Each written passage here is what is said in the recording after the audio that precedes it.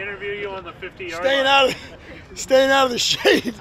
Got to get you guys in this. That was classic. You look at the the seals on Seal Beach, Cows, cows in Boston. laying out. Yeah, exactly. Mix the shepherd or something. Laying out in the sun. I like it. I like it. Good stuff. It is a little colder here in the shade, though, for sure. It's a, it's a lot we colder out here in the shade. Let's, let's, let's be real. Well, I get out of my office for a couple minutes. Feels good. Fresh air feels good. So, Darren, we asked, we've asked about Blake piece by piece so many Yeah. times this season, but he kind of has bounced back each time there was that moment of adversity. What what have you liked about his ability to do that or seen in him listen, I, I told all three guys, Blake, Lou, and, and Zach after the game, I thought we had one of our best practice weeks last week was, as far as the operation goes. Um, listen, I know I know sometimes it, it sounds like coach speak and all that, but like I, I say things like work in prog- progress and you know it's a process, and it, it really is. You know when you when you take a deep dive on on on rookie kickers, um, there's there's there's very few guys that have I ever come come into this league and not experienced some type of you know peak and valley type of thing. I think the thing that Blake has going for him is he's got a really good mindset. Um, he, he's not overreacting uh, with any of the any of the misses or, or bad you know bad hits. Um, you know we've dissected all those things. Uh, he's a very good self-corrector, meaning uh, there's some kickers that miss a kick and may not know why. He's, he can give you instantaneous feedback on all the little nuances with kicking. Um, and so uh, I think I think his personality really uh, has helped him with that, meaning not the overreaction, where they kind of get back to work. But um, but again, you know, new snapper, new holder, you know, another a rookie rookie holder, and I think I mentioned this last week. You know, when you look at those operations throughout the league, you know, rookie snapper or rookie holder, rookie kicker, there's sometimes going to be some of those that unevenness and some inconsistency. So, kudos to him. Uh, but right back at it this week. So, um, but I kind of I kind of believe, you know, like the field goal he missed the prior week, I've never really seen him hit a ball like that before. So you knew there was something kind of odd about about that situation. And so uh, he's just really done a great job, just kind of getting back on track every week and just kind of keeping the not looking at the big pictures, kind of keeping the focus, you know, the small focus in front of him. So kudos to him. JT had that penalty early in the game. Punt blocks are kind of weird. It's like, okay, you you're, you get the ball, it's not a penalty. You miss by an inch, it's a penalty. What, what's the coaching point there on, you know, that risk reward of going for Yeah. it?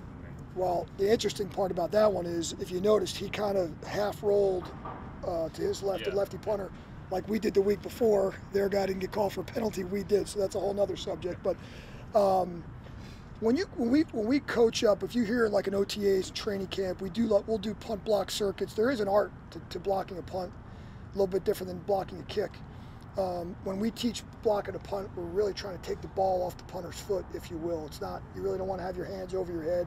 You really want to have your hands together, not apart. You see, you know, how many times if you come go to a game, you see a, a ball go between someone's hands, or they're over their head and they miss it, or trying to swat at it. So, the other part of that is taking an angle through the block spot, so that if you do miss, you don't make contact with the punter. You know, uh, probably went under the radar, but the week before, Nephi, uh, before the block punt, had an, an earlier rep where he just missed. It kind of went underneath the, the punter's leg, and so the angle through the block spot is very, very important. You know, uh, most fans wouldn't realize how quick that operation is. You really only have two seconds. The average snap to punt time in the NFL is two seconds, and you got to go 10 yards in two seconds. And so there's really not a lot of uh, time for false steps, false, um, you know, technique. So it's something that we work on. Uh, JT's obviously blocked punts before. Uh, I just think it was one of those bang bang plays that you know, kind of the cost of doing business. He had a really good rush and just missed. So it is what it is. Did you think he was outside the tackle box on that punt? Well, the way the rule reads is rugby style punt. It doesn't really doesn't really net, uh, distinguish it inside the tackle box. So he's on the move. So again, I'm, I'm not I'm going to get myself in trouble. I'm going to stay away from that one. Riz, I, So- I don't know how many times in your career you've had like a maybe like a somewhat viral moment. Cameras catching you doing things that you get a lot of reaction from friends, family, colleagues with the. Uh, I don't know why I'm such a mild mannered guy. So I, don't, I can't understand why that why that is. Um, you know. Hey, listen. I, I guess I'm a guy that wears my heart on my sleeve. I'd like to have fun doing it. I love fun coaching. You know, when you do this, been doing this for a long time now, and and uh, the players, you know, we're asking these guys to, to work very, very hard every day, and we try to keep it light and have fun with them as well. And, and I think there's a part of that. Um, obviously, uh, you know, uh, there, the the thing this past week was a um, I didn't realize that my, my high school T-shirt was going to get so much attention. Um, I expect a nice Christmas present from Rod, by the way, for the million views, but that's a side note. Um, but uh, I was somebody else told me to say that, by the way. That wasn't original. Um, but all kidding aside, I didn't realize, you know, I've given my alma mater a little bit of love, and and a little side note is for you guys as well is that Lou Hedley's fiance is an Italian from New York, so we had a little moment there, a little Italian moment there after the nice punt. So it's kind of a apropos for the for the moment there. So, um, but yeah, but uh, no, just uh, having fun while we're, while we're working hard. That's all. So a little little fun moment and a little shout out to my high school. So all good. It's cold as hell. Come on, come on, Oh, Nick. man, I gotta go walk. I mean, you got the get up going. No, man, you I'm got the hoodie. All set. I'll let you guys get back in Seal Beach. You guys are good.